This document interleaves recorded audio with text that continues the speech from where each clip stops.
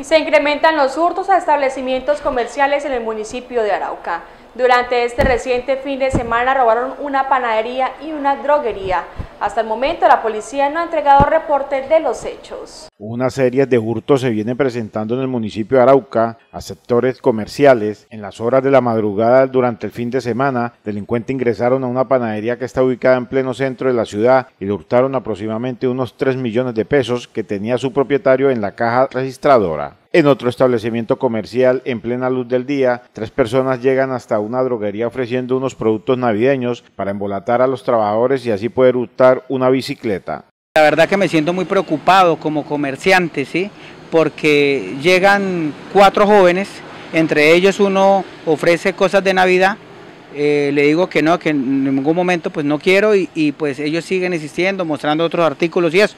Se quedan aproximadamente como llega gente, pleno día, dos y cuarto de la tarde, como llega gente, pues esperan un momento, más o menos esperaron como media hora.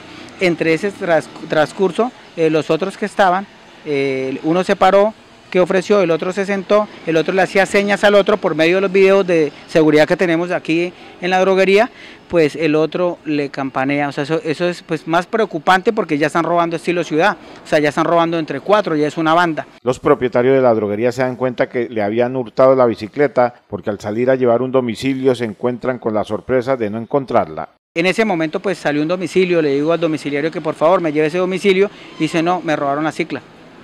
Inmediatamente como llegamos nosotros a las dos, o sea, fue un cuarto de hora que estaba la cicla ahí, eh, cerré la, droguería y me dirigí hacia la parte del Sena, ¿sí? hacia la DIAN. Pregunté que necesitaba comprar un arbolito, que quién me lo podía ofrecer. Inmediatamente los que estaban ahí me dijeron dónde lo podía conseguir y dónde llegué, pues estaban peluqueando, había una barbería ahí afuera en la calle y aparte de eso, pues ahí estaba el joven de que me estaba ofreciendo el arbolito.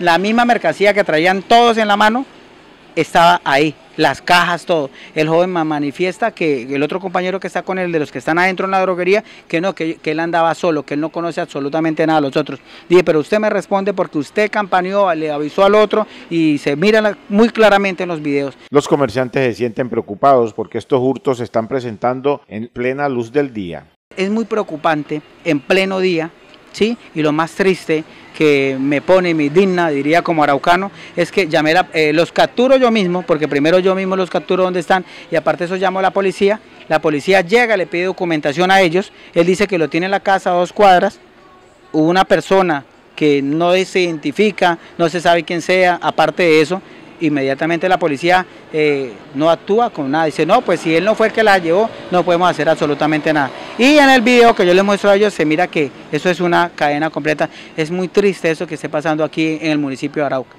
Por medio de las redes sociales se logró recuperar la bicicleta que había sido hurtada de la droguería. Se recuperó por medio del FE y de muchas personas que colaboraron y usted sabe que la gente pues araucana ya se está empezando a unir, ¿sí? Y me dijeron dónde estaba. Desafortunadamente la cicla ya estaba en Venezuela, ¿sí? Y pues tocó pues dar como una propina, se puede decir así, para poderla recuperar. Según Wilson Cuellar, la policía no reaccionó cuando él los llamó para entregarle a la persona que le había hurtado la bicicleta. No reaccionó. Antes el individuo me dice, tranquilo, llame a la policía, yo lo conozco. Cuando llega el policía me dice, es que yo te conozco.